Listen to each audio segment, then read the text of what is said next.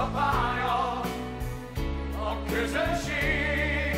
Ehhez keresztel, vagy áldod nevét örökké. A perc most jött el, az idő is megáll. Tegyed harmát, az árnyékod létál, a dicsőség kapuján.